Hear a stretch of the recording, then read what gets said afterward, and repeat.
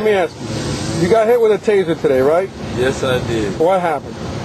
Man, I didn't know what happened. I got hit with that.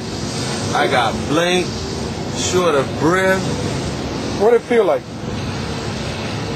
You were running, right? Uh huh. What, what do you remember? You're running. I remember I was running. I jumped this gate. After I jumped that gate, I just dropped. That was it. That was it. That was it. I just What- dropped. You see anything? Hear anything? Man, I saw the little stars like I told you, you know. When I, and then I fell flat on my face, dirt all in my mouth. You don't want to deal with that taser, trust me. Some nasty If- ride, huh? If you, if, you, if you was to get your ass whooped by the police officer, take that ass whooping. Don't take that taser, man. I'm telling you.